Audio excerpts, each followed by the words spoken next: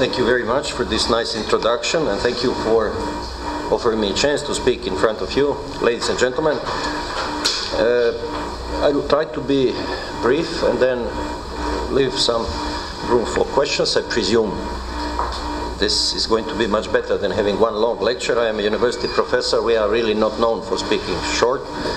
And an old cynic, uh, Bernard Shaw, once said that of those that know how to do or to do, they, they do, and those that don't know to do, they teach. But I've been in politics for 20 years, and for very specific reasons, I entered politics on a not very popular and not very common anti-war and human rights platform. And that was the only reason why I entered. I was realized that the war in Yugoslavia, in a state in which I was born, which does not exist anymore, is going to erupt. And then I thought I should not be indifferent to the suffering and whatever else is going to happen. War proved to be much worse than anybody anticipated, but I was throughout the war. In the long 10 years, uh, I've been, uh, I, I, I, must say, a rather consistent uh, human rights campaigner.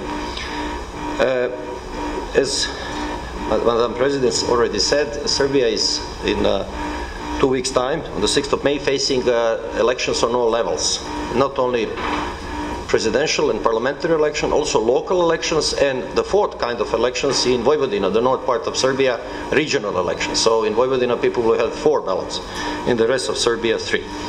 So these are, how to say, a, a situation where you can actually completely change the political landscape of Serbia.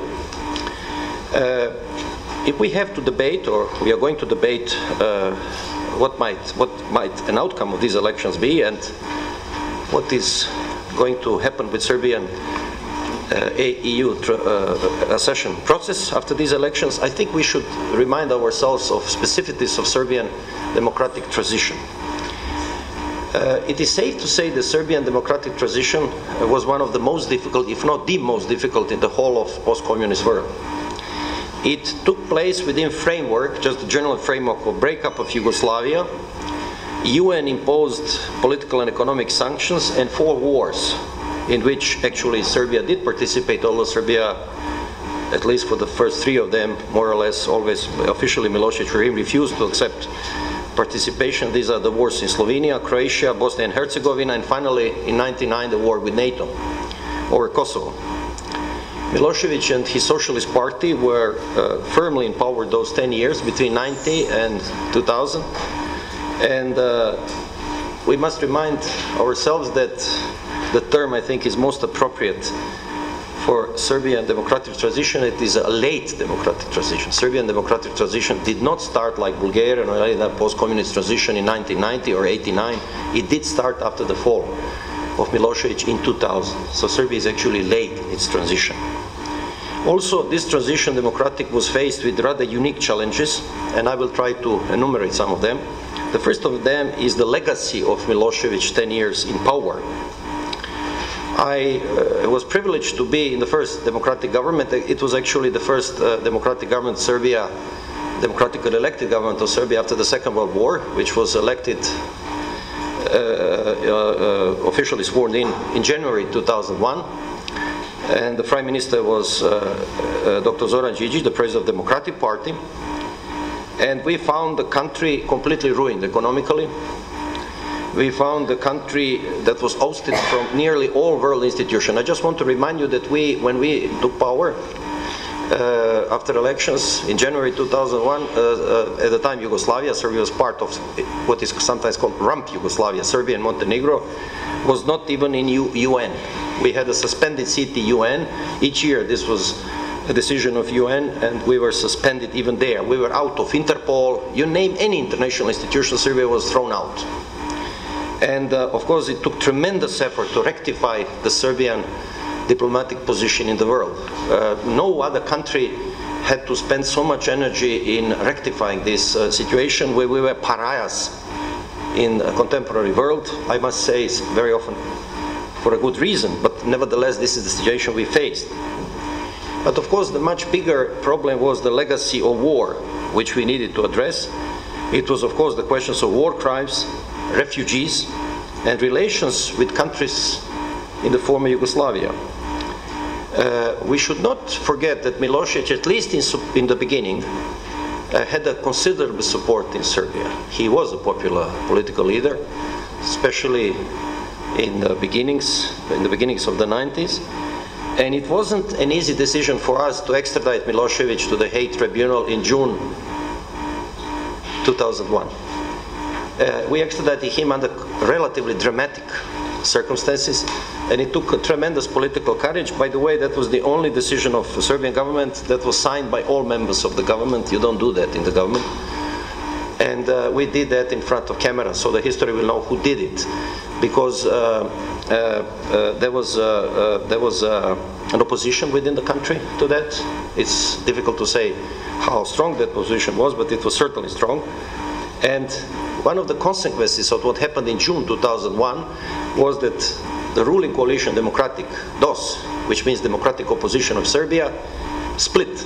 And the popular president of, of Yugoslavia, Mr. Koštunica, publicly opposed us. He had a press conference on TV and he said, we are traitors, we betrayed principles, constitution. So we were actually had a split from then on. And it was obvious that one smaller part of Serbian democratic elite, no doubt, favored much slower transition with a lot of understanding for Milosevic's political program. From then on, we were faced with the fact that even within democracy, which we tried to build up, there will be a nationalistic democratic part which had understanding for Milosevic. How much of understanding, what kind of understanding is actually a challenge to them to say. I never had that understanding, but they did. And of course, from then on, transition was hampered by the fact that most popular politician at the time, Mr. Koštunica, president of Yugoslavia, who was seen in the West as a crucial leader, hosted Milosevic, defeated him on presidential elections, actually was very much opposed to quick transition and quick change of state institutions. Nevertheless, we tried very hard to change Serbia, but opposition to that change was very strong. It came from all sides, and uh, the consequence of that opposition was the murder of my prime minister, Mr. Djindjic. In March 2003, he was assassinated by people who belonged to the military wing of state security. No normal country, certainly no democratic country in this world, has state security that has a military wing. The military wing of state security were fam infamous Red Berets that participated, by the way, in the wars and uh, the leader of that group was uh, briefly uh, uh joined briefly uh, Foreign Legion, Légion étrangère, French, escaped from there, and uh, although he was retired at the time, he had a police badge, and he joined with the worst criminal gang Serbia ever had. It's its history. It's called a Surchin gang, and criminals and former members of state security organized the assassination of my prime minister. He was killed uh, in front of the government while trying to enter the, the, the building on March 2003. That was a tremendous blow to reforms in Serbia because uh, was an extremely capable man, Western educated with PhD from Constance University. Uh, uh, he was a face of uh, this uh, modern Serbia, the face of Serbia that wants changes. And uh, I, I, don't think we have a country that more or less started late transition and then within the beginning of the late transition it had a murder of the face of that transition, in this case Prime Minister Djindjic. It is safe to say that Serbia never fully recovered from that assassination. And I must also say that although the trial was organized, the police caught culprits, actually my government caught most of them, not all of them. Later on, the rest of them were caught. The trial was organized. They were sentenced by the court. There still is an open question in the public in Serbia to this day who are political supporters or possibly organizers of that assassination. So those that actually executed the assassination, I mentioned them, were trialed and they are in jail. But whether there was a political support, who was that political support, is an open question in Serbia. We, us we usually say in Serbia, this is a term used in media and by a lot of people, political background of that assassination. Nobody has been tried. So that murder politically is still haunting Serbia to a certain extent, certainly Democrats in Serbia, and uh, there is no doubt that uh, uh, it was, a, as I said, a tremendous blow to our reform efforts. The second challenge to Serbian uh, democratic transition was uh, uh the question of cooperation with the International Court in Hague. As you know, Security Council set up a special court in Den Haag, in, in Netherlands, which uh, dealt with the crimes, war crimes committed in the area of former Yugoslavia and Uganda. Of course, we are now dealing with that part concerning former Yugoslavia. And of course, uh, that court has never been very popular in Serbia, and the strong demands from court, especially chief prosecutors, was that Serbia extradites those that are responsible for most of those atrocities. We were faced with two problems. Very often politicians knew that this is not popular, this full cooperation, and if you fully cooperate, if you extradite people, then you're going to lose elections or you're going to lose political support within the country, at least in a part of electorate. But the second biggest, pro bigger problem was only professionals can apprehend criminals, and professionals are people in state security, military security, in police. And they themselves fear that the state, this court in Hague might at some point ask them to be extradited because Hague Tribunal has something which is called seal indictments. There are indictments that are closed and you don't know at the time who is in that indictment. And there were always rumors. So you, you have to instruct police general to apprehend somebody, extradite, but he might, he, very often with a good reason, he feared he's the next one because he might be in a seal indictment. I must, if you want this conversation to be informal, I very often talked with my German friends how they build up their police the army after the Second World War. I was curious because police is a professional body. If you've ever been in a government, you cannot dismiss whole of police. It's not possible. And uh, of course, it's, uh, it's an extremely difficult process uh, to reform police and the army, and it's a very sensitive process. And you have to rely on people that are professionals. On the other hand, some of them, or a lot of them, are fearing Hague Tribunal themselves. The most tragic consequence of that was that uh, only last year Ratko Mladic, the military commander of Bosnian Serbs, was apprehended in a village relatively close to Serbia. He was living, at the time he was apprehended with a relative of his. We are not sure where he was in the past, more than 10 years, around 10 years, he was hiding somewhere. And also, uh, we discovered that uh, Radovan Karadzic, the political leader of Bosnian Serbs, was living in Belgrade with a huge beard, and oddly enough, was he's a psychiatrist, by the way, a, a doctor, medical.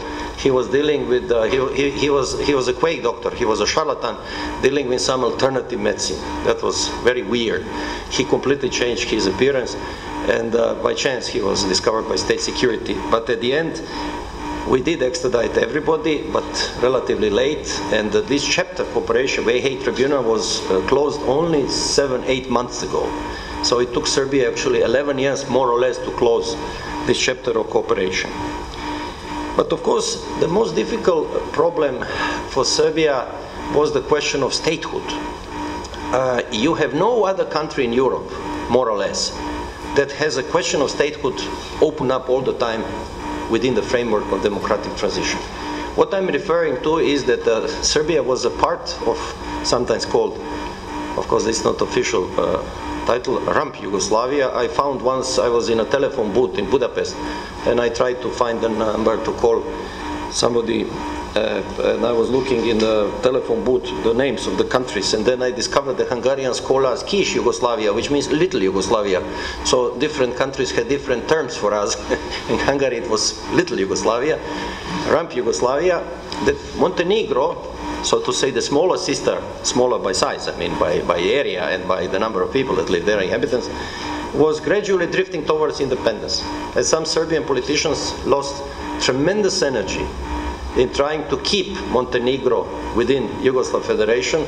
We knew from the beginning, my group, or me personally, politically, that it's a useless effort. It was obvious that Montenegro is like everybody else in former Yugoslavia going towards independence. Finally, Montenegro had a EU Council of Europe supervised referendum democratic where majority of people uh, uh, opted for independence and Montenegro became independent sovereign state. Uh, cynics in Serbia say that actually Montenegro gave Serbia independence because when Montenegro became independent then ipso facto Serbia itself became a sovereign independent state. The irony is that both of these countries, both Montenegro and Serbia got their independence granted by decisions of Berlin Congress in the second half of the 19th century. So at the end of the day, uh, these two uh, countries became uh, last independent uh, as, as, as, as, two of the six republics of former Yugoslavia. But tremendous energy was lost there, and uh, Serbia finally became independent. But as soon as Serbia became independent, another statehood question surfaced, which was there all the time. This is the question of Kosovo. As you know, after the war of 1999, it finished with so-called Kumanovo agreement in the Macedonian town of, or the republic or the former Repu uh, Yugoslav republic. Serbia recognized Macedonia by the name of Republic of Macedonia. I will use that name. Republic of Macedonia uh, town in the north, where actually Serbia seceded its sovereignty over Kosovo and uh, in, for all practical reasons, Serbia had no uh, political, military, or police personnel there, and uh, Kosovo was in some, how to say, position and not independent, but not not sovereign as a state, but also independent from Serbia. I want to remind you that there is a sizable Serbian uh, minority in Kosovo. It is difficult to say nowadays how big this this minority Serbian is. Uh, there are different figures because uh, some of those Serbs uh, alternate. They, they, come to Serbia and then they come back. Some live partly in Serbia, also come back to S Kosovo, but also some Serbs live permanently in Kosovo. Uh, uh, the figures are, are, are, are widely different depending on who gives you figures, but they certainly uh, alternate between 100, 120,000 people and 200,000 people. Probably it's safe to say those that are more or less permanently is between 100 and 130,000 at least. Of course, uh, Serbia could not be indifferent, but the problem of Kosovo was that the Serb nationalists used the question of Kosovo because Kosovo has a unique position in Serbian mythology and political life. The problem is uh, uh, uh, specific. first of all, Kosovo was de facto part of Serbia, although in former Yugoslavia, Kosovo and the northern part of, Serbia, Vojvodina, were autonomous provinces. In former Yugoslavia there were six republics, but only Serbia had two autonomous provinces, Kosovo and Milosevic. Again, oddly enough, Milosevic started his race to power by abolishing these two autonomies. That was interesting. Milosevic started as a hardline Serb nationalist and said Serbia does not really need autonomous provinces and uh, he abolished them in reality, although by name these two autonomous provinces stayed, but they really had no influence on their own political life or economic decisions. So uh, uh, Serbia was faced at the end of this process of dissolution of Yugoslavia, horrible wars, war crimes. Serbia, as sometimes they say, the, the, the war comes back home. Uh, there is such a proverb. The war, uh, we, we, we, used, we used to say in Serbia, the war always comes back home who starts the war, the war always comes back and knocks on your own door. Certainly it happened many times in history that way. In the case of Serbia, Serbia in 1999 erupt, erupted a war with NATO. That, that war lasted more than 80 days. Uh, it was a shock to all of us to, uh, uh, you know, you, you, if I may add Europe hasn't seen a real war since 1945. You have now people that are almost 70 years that never experienced a war. For you, it is only uh, a question of, uh, of uh, you see in movies, on TV, uh, how does it look, what is a blackout. Of course, unfortunately not for the people in the area of former Yugoslavia, especially Bosnia, also in Croatia, partly in Slovenia. But Serbia, uh, Milosevic finally provoked a war with probably the, the strongest military alliance in the history of human mankind. It was a war which, of course, Serbia was bound to lose. It was decision of that war was hinging on uh, political considerations, not really military. And uh, of course, uh, uh, after more than 80 days, where, where, where I, I, I, presume, I'm not so sure that NATO thought it would be a quick war, and Milosevic will uh, capitulate politically. Milosevic did not, typically for him. His behavior, he actually started playing a, a, poker game with NATO countries, so they had to have a campaign that gradually started being stronger and stronger. To this day, we don't know how many people died. And we don't know, uh, the, the, official figures are between 1,300, 1,500 people. It's very often cynically called by NATO collateral damage, but it, these, are, these were real lives, real people. But during that war in Kosovo, Serbian forces committed horrible crimes. And uh, uh, uh very often, I must say, para-police and paramilitary units and there were crimes committed against Albania, some of them heinous crimes, heinous crimes. To, to give credit to Serbian, some credit to present Serbian judicial system, we had some trials in, in Belgrade for those crimes, meaning the Serbian judge in Serbia, and people were sentenced. Some of these sentences perhaps were not strong enough, but they were sentences were passed for the crimes committed uh, in, uh, in Kosovo during the war. As a result of the war and Kumanovo agreement, Serbia lost sovereignty. Unfortunately, a few years ago, Serbia adopted a new constitution, which has preamble, and it's been deliberately done that way, which says Kosovo is and will be the part of Serbia. That means if you talk about sovereignty of Kosovo, recognize that you, you are risking being accused of, of doing something against constitution and doing something illegal. Of all political parties in Serbia, I belong to the group that, that advocates realistic approach to this, that Serbia lost sovereignty, that Serbia has right and moral obligation to take care of Serbs in Kosovo, but working with Kosovo institution. And just to give you an example, now in Serbia is raging a debate, should Serbia organize local elections in the north of Kosovo because north of Kosovo there is a river Ibar and Kosovska Mitrovica, the capital of, so to say, of north of Kosovo, this is predominantly Serbian area, and until a few months ago we could not get candidate status for EU accession because we were conditioned to finish these talks that started in Vienna between Kosovo representatives and uh, uh, Belgrade representatives about border passes and about uh, recognition of documents. For example, uh, a car with Kosovo license plates cannot enter Serbia. Serbia does not recognize those license plates. And also now Kosovo police is taking off license plates of, this is interesting, not of uh, uh, cars from Serbia which have license plates for towns in Serbia proper like mine, Belgrade, but from uh, cars that have license, Serbian license plates from towns in Kosovo. And uh, of course, it looks like a little thing, but you have all kinds of problems. For example, are, is Serbia going to recognize diplomas issued? For example, you have teachers. There is an Albanian community in Serbia proper, and the teachers educate in Kosovo. They come back. Do you recognize, for example, teachers' diploma? not? And these questions are the beginning of a very long road of normalizing relations between Belgrade and Pristina. But uh, uh, we are the only group that has connection with the Kosovo political parties, Albanian political parties, that goes to Pristina and advocates a normalization, complete normalization of relations uh, between uh, Albanian and Serbian people. It's not only a question of territory, it's also normalization of, of, of relations between two nations in the Balkans that always live together and always will live together as neighboring nations. So uh, uh, uh on these elections, it seems the government will make decision not to organize local elections. Uh, presidential elections, uh, parliamentary, you can organize because you can organize them even in Bulgaria and uh, you can go to the embassy, a Serbian citizen vote. There's no problem. Bulgarian citizen can vote abroad when you have Bulgarian. So this is not in question. The question are local.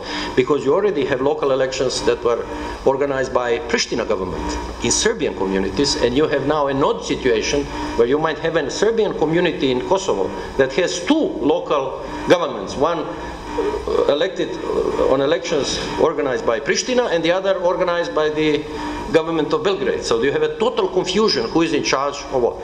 If Kosovo is uh, a relations in Belgrade, Kosovo, I'm prepared to talk. It's a very complicated and difficult story. But to finish, uh, Kosovo is very much used, and I emphasize used, by those that actually do not want a Serbian accession to EU. So uh, let me put it very clearly. It's an upside down situation. It's not that people, because of Kosovo, do not want to enter EU. It's very often they don't want EU and then, then use Kosovo. So have, we have to be careful. What are the arguments? How strong are anti-EU forces in Serbia? Pretty strong. Of course, this varies We all know from referendums in uh, countries that joined EU, let's say the last one was in Croatia, which was more or less handsomely won by forces, pro-EU forces, although not too big turnout, but nevertheless, that Serbia does not have a consensus on EU accession. And this is the biggest problem of these elections we have on the 6th of May. I will give an example of Croatia, a neighboring country to Serbia, because they had most recently election, most recent elections in the area of former Yugoslavia. They elected a new government. This is a coalition, uh, center-left coalition. The government before, be, between, be, before that one was a center-right coalition, but nothing changed in Croatia considering EU accession. Many things will change internally, but nothing will change because there is a consensus more or less in Croatia about the way Croatia goes politically through history. But in Serbia, it is much more complicated. And very recently, we had, uh, he's becoming now rather infamous in Serbia, the ambassador of the Russian Federation, who said uh, that Serbia, if it wants to enter EU, then it has to reconsider its economic ties with Russia. Because we do have a special uh, agreement, economic with Russia, Russian Federation. And uh, he's formally right, but uh, that was a warning. And also, uh, uh, although the formal Russian position is, and it's been stated as such, that Russia is neutral, indifferent. They think it's a decision of Serbian people, which of course the correct position, but very often we don't see that. And we see a rather biased relationship towards political parties in Serbia and political leaders. And we see, uh, at least in some Russian parties, a, a, a very much of sympathy for nationalistic forces in Serbia that are actually against EU accession. Just to add, we are the only country in the Balkans. Macedonia cannot enter NATO because of the veto of Greece over name. Uh, Bosnia and Herzegovina could not enter NATO because of the veto of the Serbian member of their collective presidency. They have a Croat, Bosniak, and Serbian. This is collective presidency. The Serbian member is vetoing NATO accession, although these, the other two, Bosniak and Croat, would, I presume, vote for that. Montenegro opted for EU accession. Uh, Albania, of course, the Republic of Albania. So Serbia is the only country in the Balkans where support for NATO accession is about 20%. It is slightly understandable considering there was a war 13 years ago, but nevertheless, I would think it's a part of the same political parcel, and it might be interesting to you, this Preokret, which you mentioned, this uh, coalition to which I belong, where is uh, we are the only parties that are openly advocating also NATO accession because we think it's more now a political alliance than military. And uh, it's very hard to imagine that uh, Serbia can stay out. Of course, there are countries that are out, like uh, Austria or, or, or, Sweden, but uh, that kind of neutrality is something different. So, uh, Kosovo again is the biggest challenge to Serbian transition. And so a few words now on these forthcoming elections, uh, we have two main contenders. One is Democratic Party of, until a few weeks ago, President Boris Tadic, president until a few weeks ago, president of Democratic Party, which is uh, a, theoretically a center-left coalition. I would think more like a centrist coalition uh, that plays a little bit with nationalism occasionally to raise up its support in population. And we have another coalition by the party that was created only a few years ago. It's called a Serbian uh, Progressive Party, which is led, and that's a problem, by the former deputy of Mr. Šešelj. For those that don't know, Mr. Šešelj was a hardline chauvinist and nationalist leader of the Serbian Radical Party that had paramilitary units, or at least organized people, and people in Croatia and Bosnia know very well what am I talking about. He's, by the way, in jail he still has his party and he's been now nine years his process, there is right now ongoing process to Mr. Šešelj in Hague Tribunal. He's been a leader of his party for nine years from jail in Hague. This is a unique situation in Serbia. By the way, he is ahead of his list for parliamentary elections because according to our constitution, he has not been sentenced. If you are not sentenced, then you can be on election list because sentence has not been passed. So I don't think you have many countries in Europe where a man that's been nine years in international court in Hague is leading a list, that party is not going to get too many votes. Probably they pass a 5% threshold and enter parliament, but they are not going to be strong. But the problem is that Serbian Progressive Party is led by Mr. Nikolic, who was his deputy. By the way, also briefly a volunteer in Croatia. during the war. And uh, although Mr. Nikolic is in the past two years is trying to convince uh, us, all of us in Serbia, that he's a reform nationalist and that he favors EU accession. It's, it's now for Serbian citizens to show whether they believe that. The truth is that his party now uh, has support about 33% of population, which is one third of electorate support that. And I, I could call this group uh, center-right group, not uh, not very enthusiastic about the EU accession, and of course very often they repeat this famous uh, uh, Serbian statement, uh, if I have to choose between EU and Kosovo, I'll always choose Kosovo, which we always wondered, my group political, what does it really mean? And, uh, uh, uh, but the reality is that they all claim, it's almost like a mantra, whoever, if they force me to choose between Kosovo and EU, I will always choose Kosovo. These elections are rather important, although uh, we may term Mr. Nikolic a reformed hardline nationalist. Uh, whether, uh, once again, whether you believe him or not is open for debate. He hasn't been in power, so it's quite difficult to judge. Uh, some people, uh, uh, cynics, claim that his position is known as a cannibal that became vegetarian. Now, whether you believe this or not, it's open. You know, whether you believe cannibal can become a vegetarian. But uh, some can, and we, we've seen transformations in political life over the years, and I can give you many examples. I'm old enough to remember also some. And, uh, uh, but nevertheless, uh, I think that election of Nikolic, especially as president of state, in second round of presidential election, you can be quite sure it will be only Mr. Tadic and Mr. Nikolic, would have consequences for relations in the region. I cannot see any Croatian government being very enthusiastic, not to speak about people of Croatia, but having in neighborhood Mr. Nikolic as president of state. It would create problems for the president of Croatia, for the Croatian government, I presume to a certain extent to the uh, uh, governments in, Bo in, Bosnia and Herzegovina, I mean in former Yugoslavia, and if Mr. Nikolic has a, so to say, double victory, he, he makes the government and becomes the president of state, then Serbia will be faced with even slower reforms uh, that will, I think, at some point slow down completely. We have a, a very bad economic situation in Serbia very serious one, and more isolation uh, would be, I would almost think, tragic to the people of Serbia.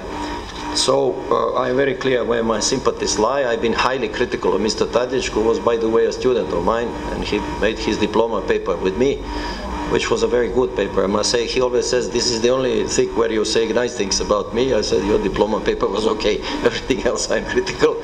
But nevertheless, I, uh, uh, I will have to, in the second round, I will be very clear to support Mr. Tadic because I think he's a much better solution for Serbia and for the region. Although I'm critical of these lukewarm uh, reformists, I don't like them. To finish, uh, I accepted this invitation with pleasure because uh, the late, late uh, president of Finland, Urho Kekkonen, he said something very clever. He said, clever countries have friends close and enemies far away. As you know, we in the Balkans, we have friends far away, a lot of our enemies are close. We do just the opposite to Mr. Kekkonen said. The only people that can make trouble actually are neighbors. Who cares what relations you have with a country in South America? But your neighbors, as we all know in the Balkans, can create a lot of problems. And this is the main reason, besides sympathies for Bulgaria, that I came here because uh, I think Serbia and Bulgarian relations are very important. Uh, I don't see any open, really open questions between Sofia and Belgrade, and of course, generally, Bulgaria is considered today in Serbia as a very friendly country and a good neighbor. Uh, but uh, I think that Serbia, after these elections, might have a government that will now have a, and that's my concluding remark, we'll have a government, a president that will uh, have more authority to, I hope, go faster into reforms and EU accession. But if Mr. Mr. Nikolic is elected, no doubt democratically elected, it's an open question how far we'll go with our EU accession and our reforms because uh, uh, uh, he hasn't been tested as a leader. He's been a part of federal government of Yugoslavia once during Milosevic time, but that he, he really wasn't making any decisions. So Serbia is now again at the crossroad. I'm tired of this. It's been going now for 23 years. That Serbia always at, at some crossroad. And I watched, uh, like pro pro probably like all of you, the first result of French presidential elections last evening. The brave face of Mr. Sarkozy. He put up, I must say, a very brave face at his energy. He's known for this energy, which is real. But it's obvious that he's a loser in the first round and uh, I thought certainly who wins French presidential election will, be, will have consequences for the France politically, but not really, not to the slightest extent as the result of Serbian presidential elections, because we are choosing again the path political. France is not choosing the path. France is choosing something quite else by electing a president, what kind of a person will lead France, what style of presidency it is going to be. But France will not change uh, its uh, position in Europe and its, of course, long democratic transition uh, uh, uh position. So, uh, in the case of Serbia, on the 6th of May, I, am not dramatizing. We don't have a choice between a hardline nationalist and a, and a reformer, but we have a reformer not a terribly strong reformer, nevertheless reformer, and we have an untested man that claims he will be a, some kind of reformer, and he likes to add a, an honest reformer, which very a lot of cynics find contradictio in adjecto. Uh, unfortunately, people in the Balkans tend to think the reformers are responsible for uh, a lot of economic misfortune that happens to us, which is, by the way, only partly true. So I'm now, thank you, and I'm open to questions.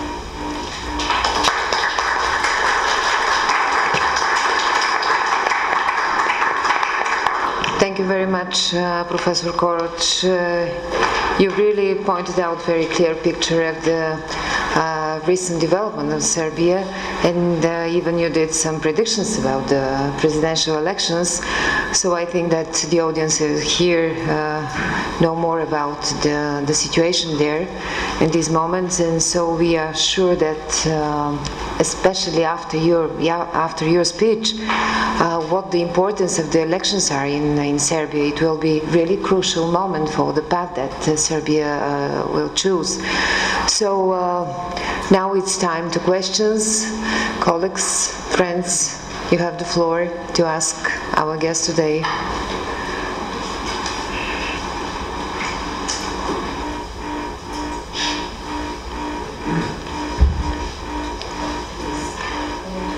Self, please. I don't think my microphone works. Anyway,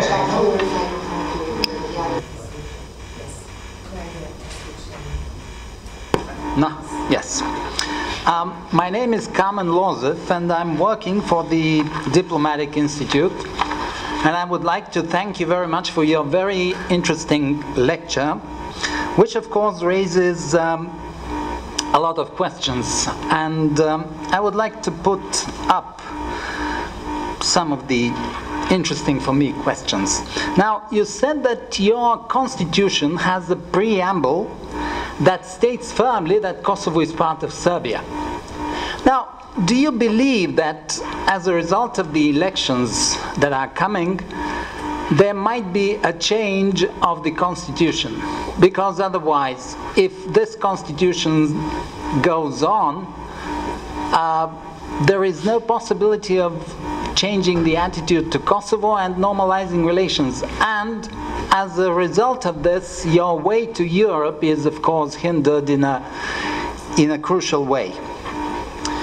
Um, now, you mentioned that uh, NATO and uh, the European Union are a target for some of the people of Serbia. And my feeling is that your attitude to NATO is more negative than your attitude to the European Union. And the practice of the accession of the new democracies from Central and Eastern Europe shows that a country is first accepted to NATO and then to the EU. Now, if we follow that logic, it means that this is an impediment to the Serbian Republic. Do you think that there might be a change of the of this rule? I mean, first Serbia be be be accept, uh, be a member of the the EU and then to NATO. Is that possible according to you? And my third question is this. Now, you talked in your uh, talk about uh, the about people who are crucial, according to you, for the future changes of Serbia.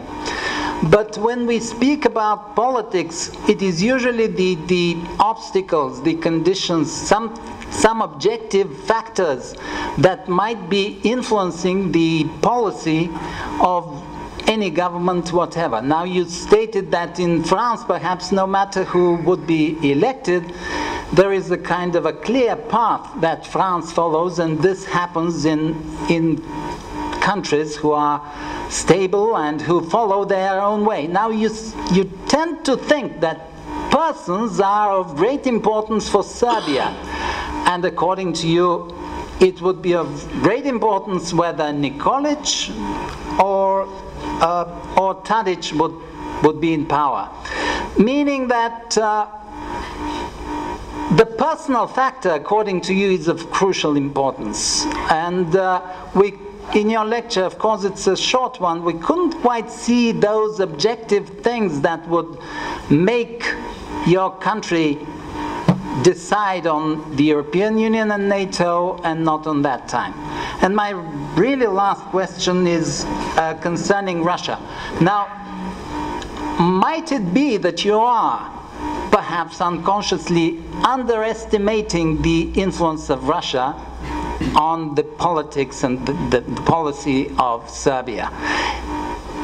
Might there be some hidden things that would make Russia really a crucial element to be considered on your way to Europe? Thank you very much, and sorry for being so long. Thank you. I, will try briefly to answer. The preamble, one of the reasons the new constitution has been adopted, there were other reasons. Uh, one of them, that old constitution has been set up in such a way that it's almost impossible to change it. You need two strong majority in parliament. So this constitution at least has that. Those that are excusing this uh, constitution, they always say, well, at least this constitution can be changed uh, by, uh, uh, uh, how to say, a simple majority in parliament and so on. Uh, the other one, the, the old one was two-third majority and a, and a, very complicated procedure. But uh, the fact is that this is the only thing in preamble. You, you may play with this and say, why, why isn't another province autonomous of Vojvodina in the preamble, just one?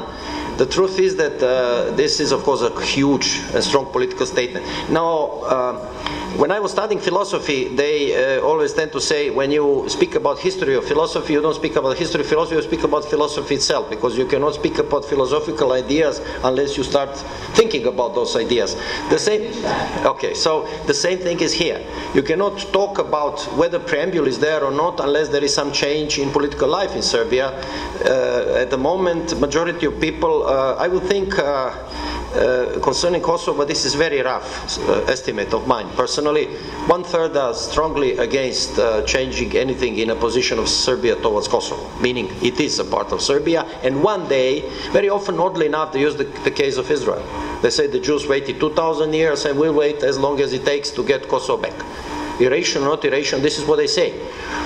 But uh, one third of people are fully aware that Kosovo is gone and think Serbia should, like, uh, let's say, Hungary after the First World War, you lose territory. What can you do? You go on and you create better life and better human uh, conditions for the rest of the people living in a territory you control. And one third of people are really ambivalent.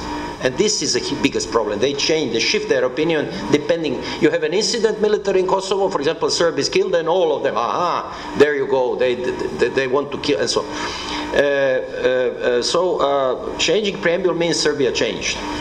NATO has only 20% support. The last figures, last, on EU accession support is 48%. It is going slowly down. It was 57, 58, it is going constantly down, but this is changing all the time. So there is much more support for EU accession than NATO.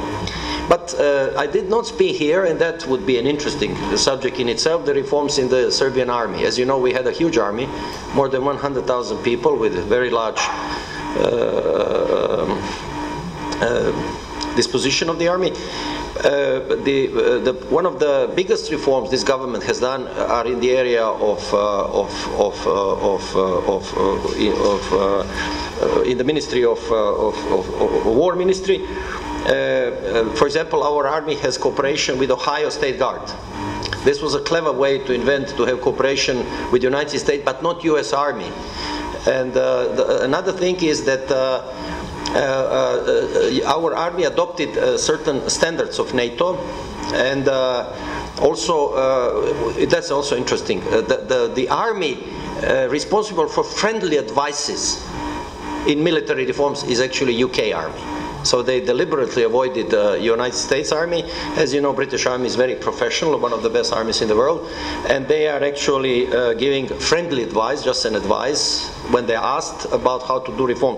Uh, I would think that the Serbian army changed profoundly in the last four years.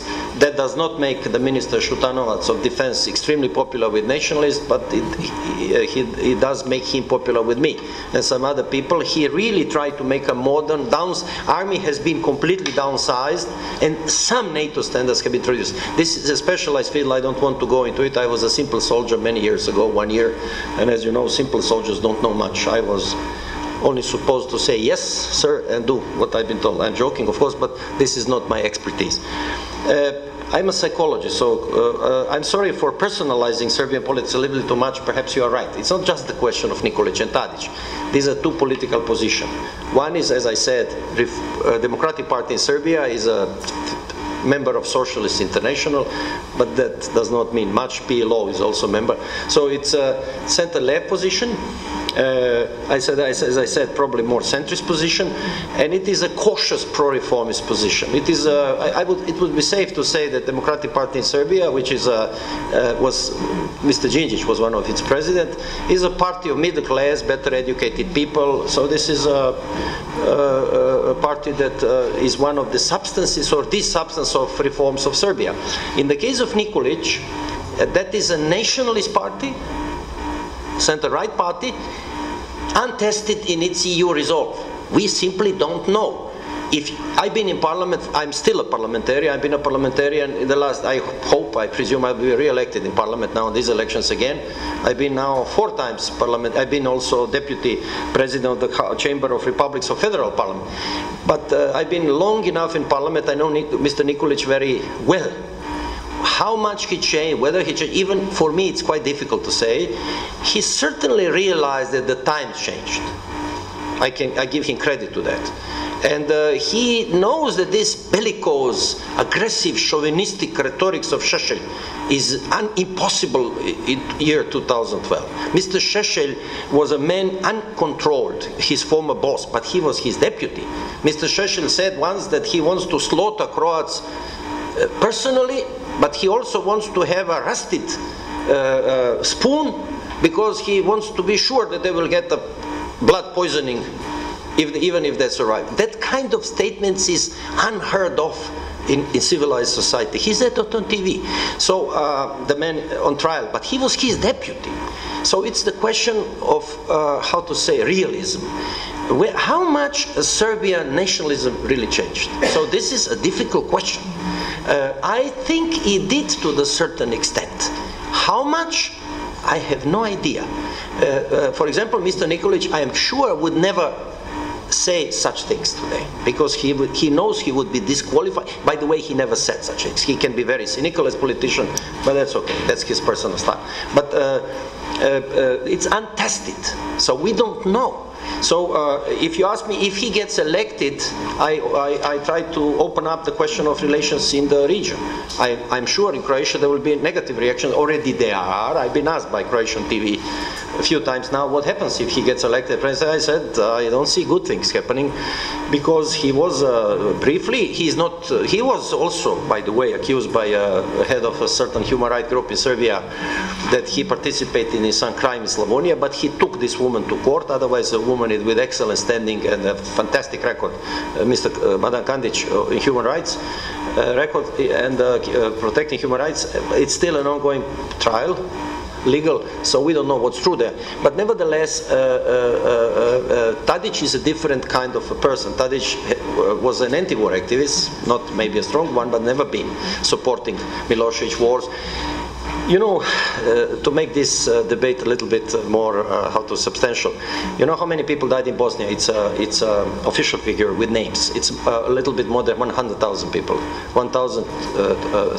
103,000 probably died with names, places where they were killed. In Srebrenica, about 8,000 people were massacred in three days. It's a genocide by the Hague Tribunal decision. Horrible things happen in the area of former Yugoslavia. You don't play with that. Maybe in some countries in the Balkans, people forgot the Second World War, they forgot the First World War, they forgot Balkan wars, but this is a recent war, and it's been fought uh, until 95, and NATO 99 in Serbia, Kosovo. And uh, it's not a theory, it's not a, a history channel for us. For me, unfortunately, war is a reality and uh, you don't play with those things. So how much you reform, how much you face that Serbia cannot simply go forward as a state, we have to uh, see. But I, I would think that election of Nikolic would be a big question mark. Uh, for many people in Serbia, it will be a coalition, by the way. His party is very strong. He cannot, he cannot hold power by himself. That in itself is interesting, but unfortunately his partner might be Mr. Koštunica, the man, former president of Yugoslavia, that is now openly openly against the EU accession. He says that Serbia will lose all, and unfortunately, uh, although Ortho Serbian Orthodox Church is not, so to say, directly participating in political life, it is. Our, I would think our Serbian Orthodox Church does not like Europe either very much.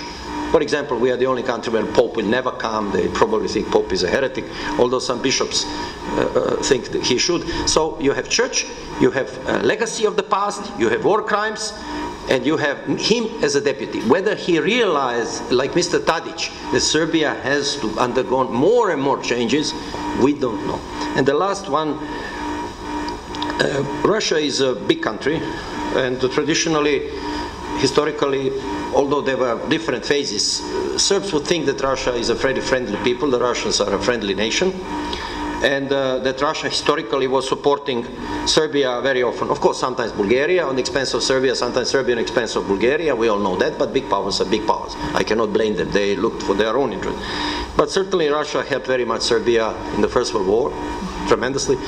And uh, uh, uh, also Russia is a member of Security Council and a trade partner, although the biggest trade partner.